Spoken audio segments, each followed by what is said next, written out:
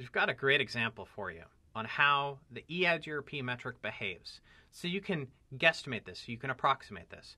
Back in college, I learned a lot of formulas, how to apply those formulas to situations, but we need to be able to think about this non formulaically because you're not going to be filling in the values for those metric components and deriving the values on your own. I don't know anybody who does that. I really don't. But you should be able to look at this topology and say, I know what EIGRP will choose. Let's explore that together. And specifically, what are we choosing? Which pathway would be used? Is R1 going to take the, bo- the top pathway or the bottom pathway? The choice is yours. Well, it's not really yours. It's EIGRP's. We need to be able to figure this out on our own. So I want you looking at each of these links. Each of these links.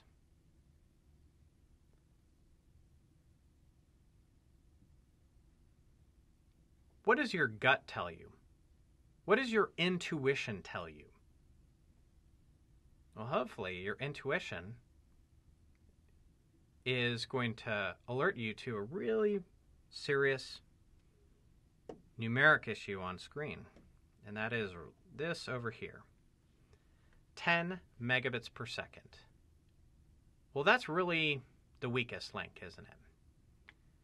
But you could say, well, wait a minute, it's fewer hops. It doesn't look that bad.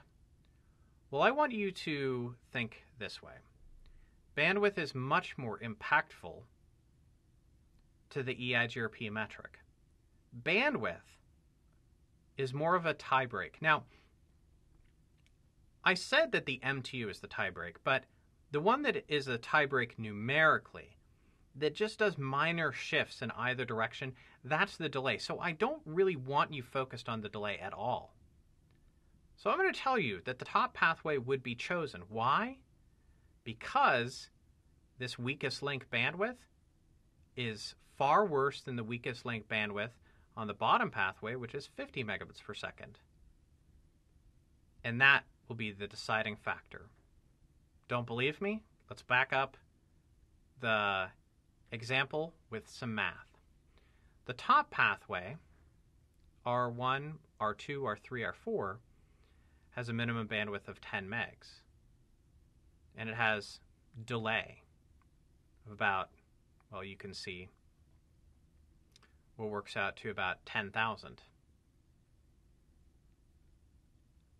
So if we do the math here, and we're not going to do the math together, but you can see that the top pathway has a metric of about 2.8 million. And notice how much larger of impact it is the bandwidth component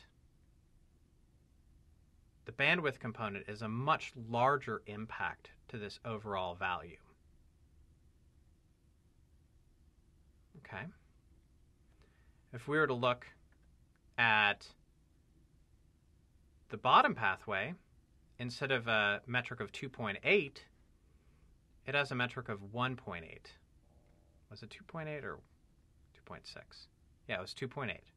So this is the top pathway. Look at the bottom bullet point bottom pathway 1.8. So that's a pretty big deal.